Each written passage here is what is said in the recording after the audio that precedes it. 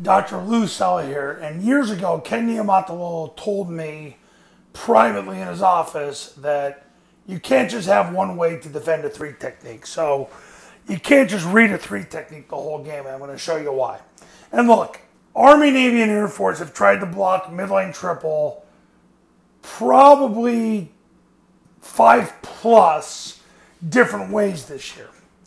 But here's the bottom line. When you run mid triple, if all you're going to do is read the three technique and read the five technique, all they're going to do is the three technique is going to take the dive, the five is going to take the quarterback, they're going to run the backer over the top to take the pitch.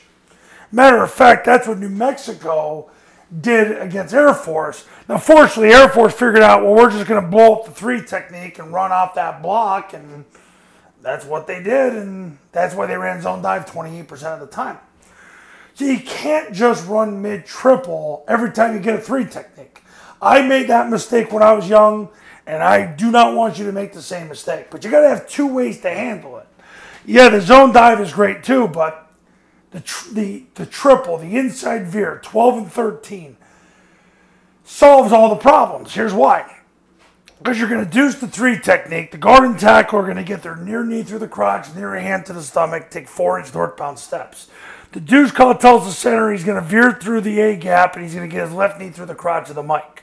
If the mic runs over the top, he doesn't chase him, he replaces him and blocks the free safety. Place that A back steps with his inside foot and he'll get his left knee through the crotch of the mic. If the center gets to the mic, he'll be the one to end up on the free safety. So these two have these two. Backside scoops. Backside guard sprints belly button through the hip of the center. Backside tackle sprints his belly button through the hip of the backside guard. Backside receiver cuts off. Now, you've got a rule of two here. And I did a video on this a couple months ago. A rule of two. If it's a rule of two, the receiver's just going to crack the safety. You're going to make the corner the pitch key. He's number two. One, two. You don't want to make the safety the pitch key. Learned that from Paul Johnson years ago because then he'll just force and you'll get a gain of you know four. And, and yeah, you can try to throw off that. That's great, but you want to make the corner the pitch key because if he chases the quarterback and you pitch the ball, there's nobody left. So what happens is the quarterback takes the snap, jumps in the gap, points the ball. B-back runs through the ball. He runs tight outside the double team and gets vertical. If number one takes the B, God help them, they probably won't. That's why they have seven dudes and six gaps. But let's say they do. He takes the B, quarterback replaces him and scores. And if the corner could actually tackle him, which probably would need to be seated at the right hand of Jesus to do that, then the quarterback would stop his feet and flick the ball to the A back coming around. But the point of the video is you got to have two ways to handle a three technique. You got you can read them, but you can't read them every single play you got to double them too.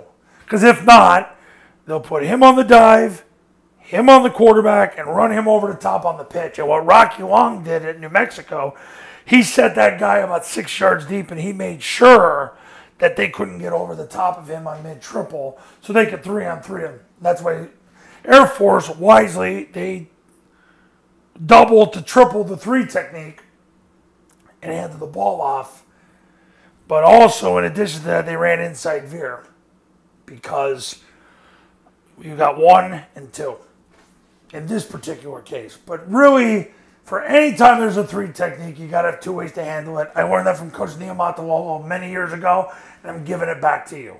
Okay, coaches, if you want to run Army, Navy, and Air Force's offense the right way the first time, call me 570-332-0265, 570-332-0265 and go to tripleoptionfootball.com slash testimonials.